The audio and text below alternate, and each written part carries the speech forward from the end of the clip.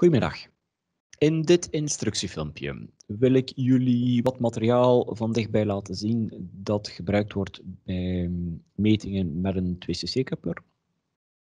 Het is materiaal dat normaal gezien tijdens de practicaal, kortes aan bod is gekomen, maar waar het mogelijk wel interessant is om dat toch nog eens eventjes in detail te bekijken omdat jullie dit materiaal zullen gebruiken voor het uitvoeren van technische metingen, maar ook voor het uitvoeren van metingen in de coupler. En dat zal dan quasi altijd een 2cc-coupler zijn.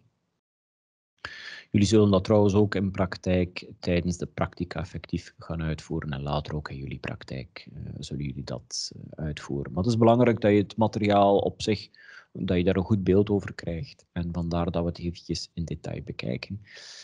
We willen dit laten zien, dus dat materiaal laten zien in functie van het uitvoeren van metingen in de 2cc-coupler, zodat je weet van hoe marcheert dat eigenlijk voor een apparaatje achter het oor, voor een apparaatje in het oor. Um, analoog aan dat laatste zijn dat dan ook voor apparaatjes met een luidsprekertje in het oor. En dan daarnaast wil ik met jullie de RCD-methode eh, eventjes demonstreren, dus het materiaal dat je gebruikt voor die RCD-methode. Dat zal trouwens ook die 2CC-coupler zijn, maar ook het systeem met de remmodule. Dat gaan we samen eens bezien. Ik zal eerst die methode laten zien zoals dat ze door Moody beschreven werd. En zoals dat um, ook met uh, een klassiek oorstukje uitgevoerd wordt. Daarnaast wil ik jullie ook de meer eenvoudige methode laten zien die met een uh, dopje, een timpanometrie dopje of een dopje voor akoestische missies, um, waarbij we op die manier de insert phones in het oor, insert phone, liever gezegd in het oor gaan uh, plaatsen. In de coupler gaan plaatsen en op die manier, op een zeer eenvoudige, zeer efficiënte manier, toch RCD-metingen zullen doen. Die um, uit onderzoek, onder andere van Bahato en Scully, um, toont dat de betrouwbaarheid daarvan, de reproduceerbaarheid daarvan, ook uh, goed tot zeer goed is. En vandaar dat het ondertussen in de praktijk quasi de referentie is. En we sluiten dit hoofdstukje af, of dit filmpje af, met een korte demonstratie van hoe je ook met die insert phones SPL-audiometrie zou kunnen doen. Het is, het is, gewoon omdat het nu op dit moment toch met hetzelfde materiaal kan gebeuren. Dus we kunnen even goed al de verschillende opties hiermee laten zien. Voilà, laten we starten met de 2cc coupler. Dus de 2cc-coupler wordt gebruikt voor het uitvoeren van technische metingen, uh, maar wordt ook gebruikt voor bijvoorbeeld het, um, het ja, bijsturen van instellingen van een apparaat, het simuleren van instellingen van een apparaat. En daar, zoals dat we in de lessen aangegeven hebben, is een 2cc-coupler natuurlijk een heel mooie referentie. Het is een zeer eenvoudige referentie. Het is klein, dus relatief gezien goedkoop. Ze is zeer betrouwbaar. Um, toch zeker in het frequentiedomein tot ongeveer 8000 hertz is dit een zeer eenvoudig volume, zeer betrouwbaar volume met relatief weinig last van uh, staande golven en dergelijke meer. Wat het een zeer uh, representatief en zeer betrouwbaar meetinstrument uh, maakt. Anderzijds is het wel ook zo dat in principe dit volume in feite niet echt exact de prestaties van de werkelijkheid zal uh, gaan benaderen. Ook al is het volume bij benadering, um, het zal een beetje kleiner zijn, maar bij een ruwe benadering, het volume tussen het uiteinde van het oorstukje en het trommelvlies het oorkanaalvolume, ongeveer 2 cc. Um, maar zoals dat we ook in de lessen aangaven, is het op zich niet echt de bedoeling van die 2cc-coupler om perfect representatief te zijn voor dat volume, dat werkelijk oorkanaalvolume, maar is het vooral de bedoeling om een betrouwbaar, vrij goedkoop, goed gestandaardiseerd meetvolume te zijn. Uit wat bestaat die 2cc-coupler? Wel vrij eenvoudig. Het is een volume dat aan het ene uiteinde een buisje geeft, 2,5 centimeter buisje met een interne diameter van 1,9 mm, dus een kleine 2 mm, zodanig dat we daar een uh, apparaat, dus dit is eerst de versie van de 2cc-coupler in de HA2-coupler, dus waarbij we een apparaatje achterdoor kunnen gaan koppelen en dat gaan we op die manier gaan doen. Het is vergelijkbaar met, of het zou dit moeten gaan simuleren. Het, het is met andere een klassiek oorstukje gaan simuleren waar we ook dus het apparaat op die manier gaan plaatsen. Dan krijg je hier een soort koppelstukje dat um, voor het oorstuk op zich staat. En dan gaan we verder richting het eigenlijke 2cc volume. En als we dat koppelstukje eventjes losdraaien, dan kan je dat waarschijnlijk zelfs op een camera nog vrij goed zien. Dus daar zie je dan het volume, het 2cc volume um, in.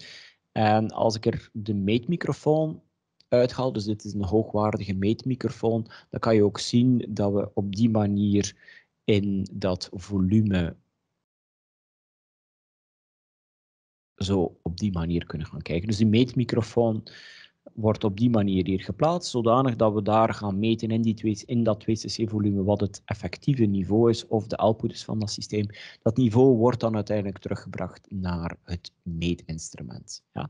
Dus het, um, anderzijds zal dus het meetinstrument ook een stimulus gaan genereren. Die stimulus zal in de meetbox zich bevinden, het apparaat en de coupler zullen in de meetbox bevinden. Er zal een referentiemicrofoon ook aanwezig zijn.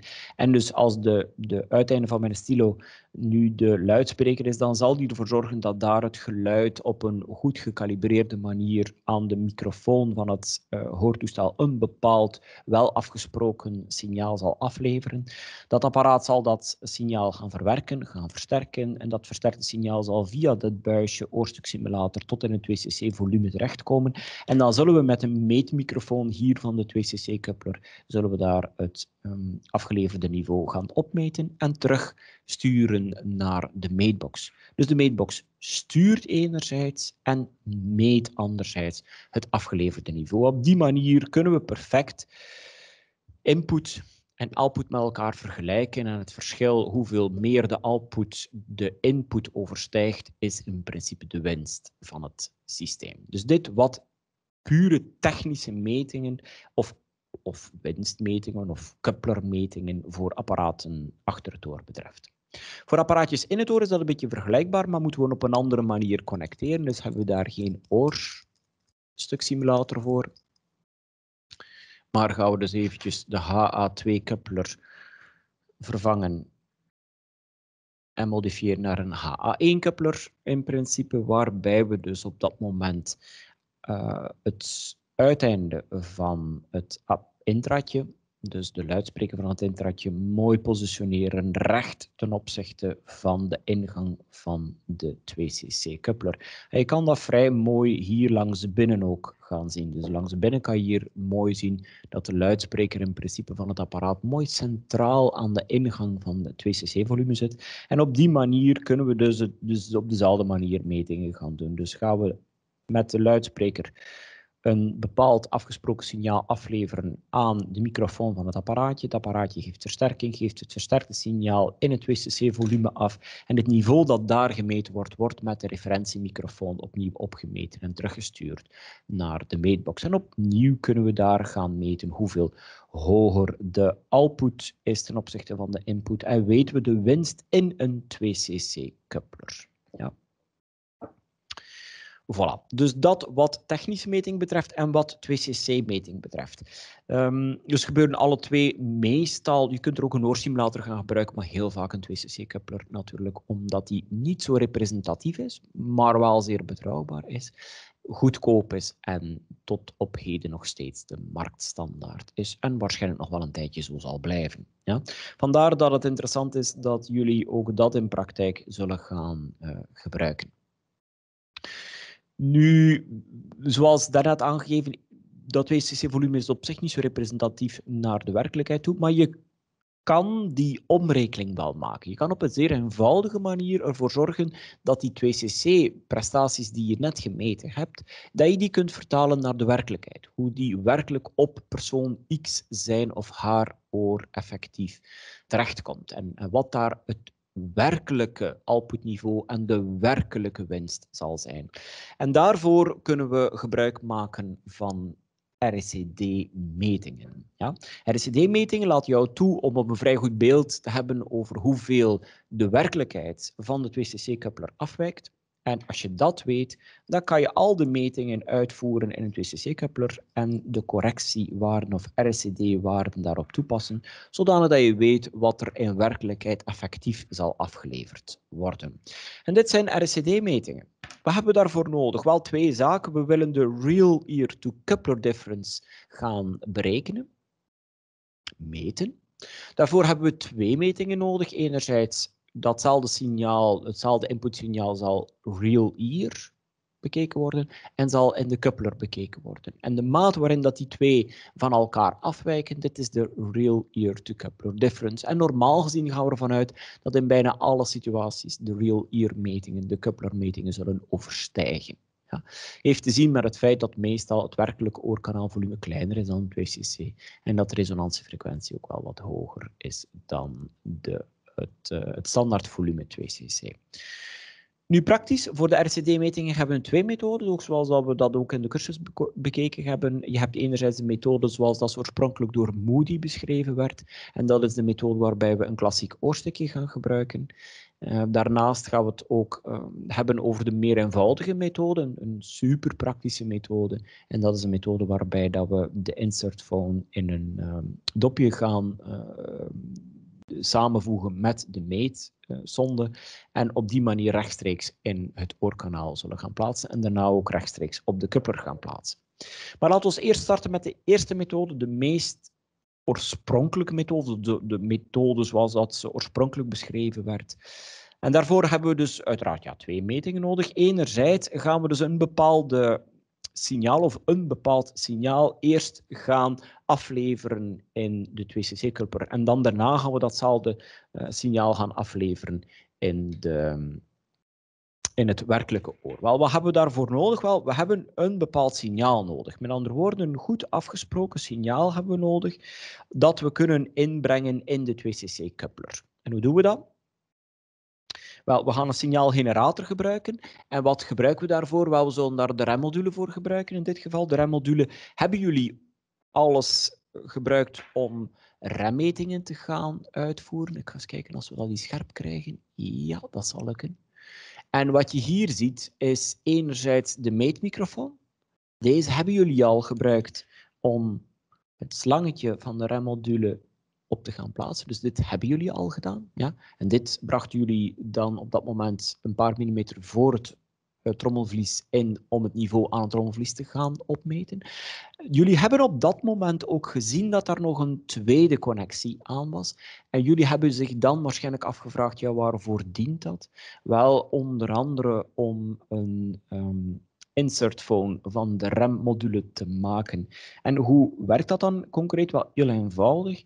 We gaan dus een verlengstukje hier op dat luidsprekertje gaan plaatsen. En we gaan dat dan koppelen aan de 2cc-coupler. Voilà. Dus op die manier gaan we dus met de insert phone gaan we dus een gecalibreerd signaal afleveren in de 2cc-coupler. Ja.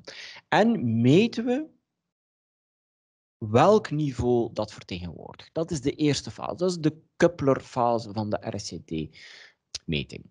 Dus vastgesteld signaal koppelen aan het, de 2cc-coupler en dan meten we daar het corresponderende niveau en schrijven dat weg in de meetmodule, RCD-module.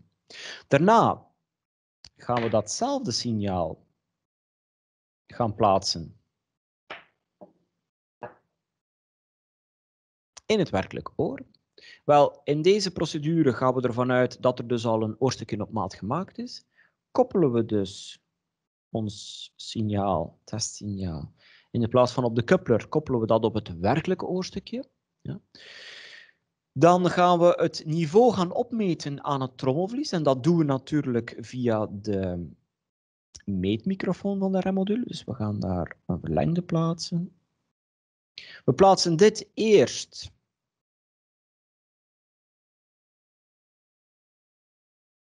een paar millimeter voor het trommelvlies.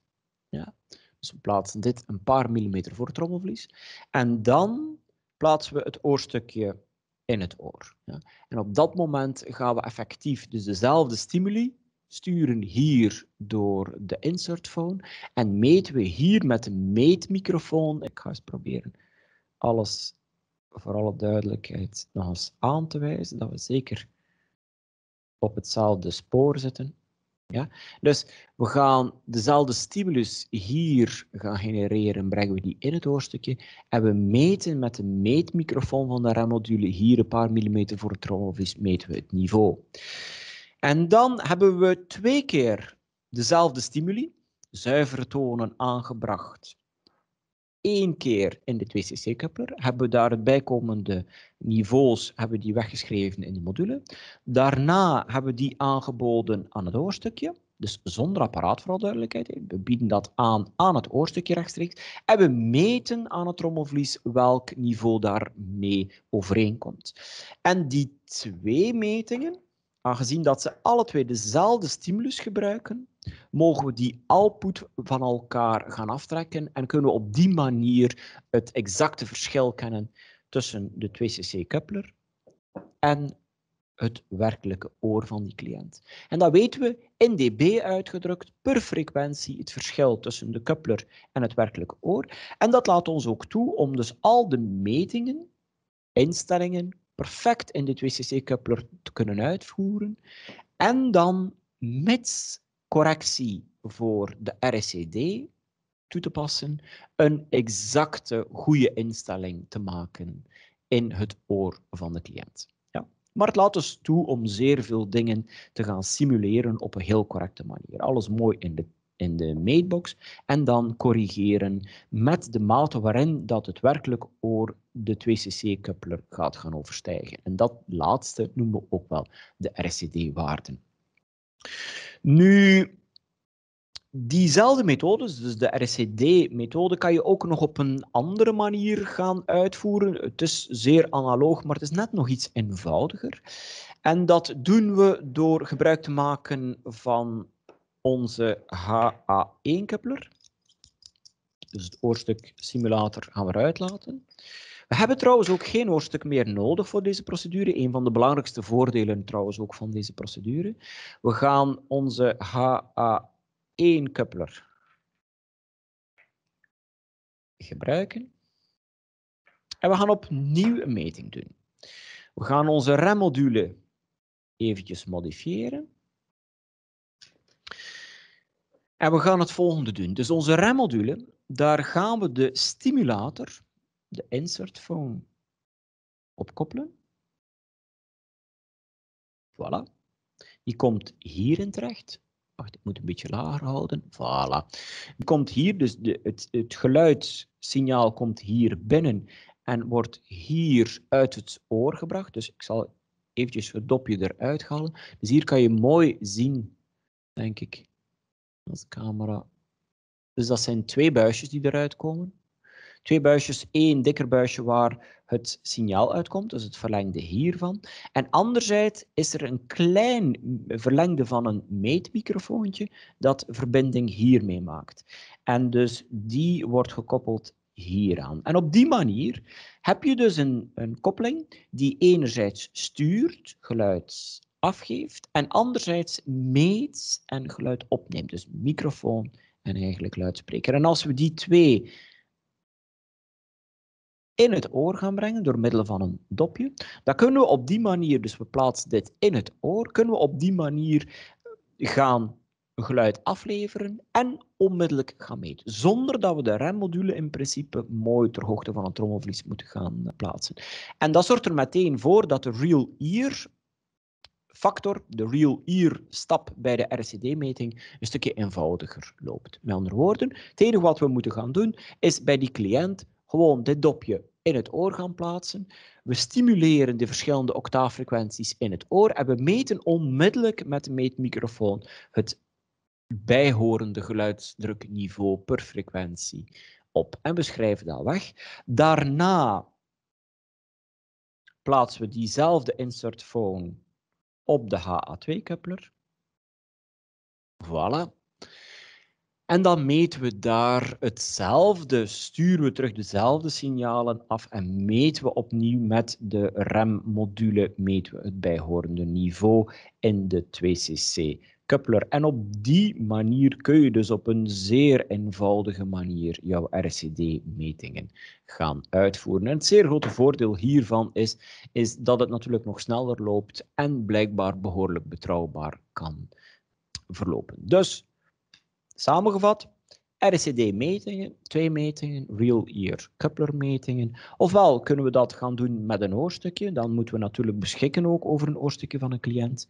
En dan kunnen we op dat moment het, de insert phone gaan koppelen aan de remmodule. Dus dan fungeert de remmodule eigenlijk als insert phone. Het signaal wordt in het oorstukje gebracht en opgemeten met de meetmicrofoon van de remmodule. Ja. Daarna gaan we diezelfde koppeling gaan doen naar de HA2-coupler.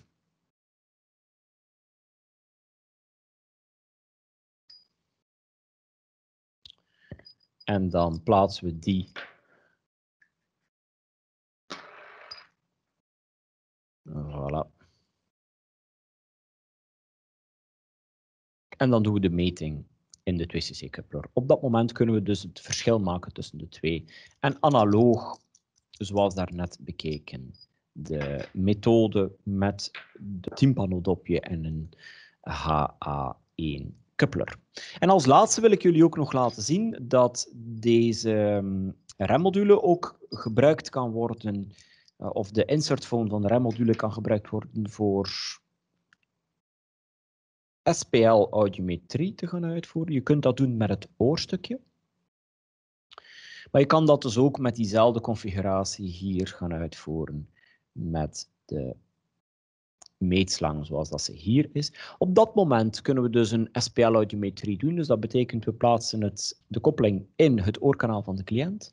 We klikken op de calibratiemodule. Dat betekent dat op dat moment per frequentie de toon zal gegenereerd worden in een oor en onmiddellijk zal opgemeten worden welk SPL-niveau, welk werkelijk niveau er aan de cliënt zijn horen zal terechtkomen. En op die manier, als dit eenmaal gecalibreerd is, en dat duurt maar een seconde per frequentie, nog geen seconde per frequentie, en na een paar seconden heb je dus de belangrijkste octaaffrequenties gecalibreerd en kan je op dat moment exact in SPL uitgedrukt, dus op het werkelijk niveau ter hoogte van het trommelvlies, kan je een audiometrie bij die cliënt gaan uitvoeren. Voilà. Dus dit zijn de toepassingen van de meetapparatuur die hier op tafel aanwezig is. Dus enerzijds de 2cc-coupler, waar we technische metingen kunnen doen en waar we couplermetingen gaan doen. Uh, zijn vooral interessant als je ze dan uiteindelijk kunt gaan refereren naar de werkelijkheid. En dat kunnen we doen met RCD-metingen. Vandaar ook dat we dan de twee methodes bekeken hebben om RCD-metingen te doen. Enerzijds met het oorstukje, dan heb je natuurlijk een oorstukje nodig van een cliënt. En de tweede methode um, zonder oorstukje van de cliënt. Het voordeel is dat je dan geen oorstukje nodig hebt en dat je op een zeer snelle manier met een dopje tympanometrie, auto-akoestische dopje, de insertphone kan in het oor brengen en onmiddellijk het corresponderende niveau kan gaan uh, meten. En als laatste tonen hebben we hier ook getoond dat je met die um, opstelling ook in situ audiometrie zou kunnen gaan doen liever gezegd dat je echt een SPL-audiometrie met insert phones zou kunnen gaan uitvoeren.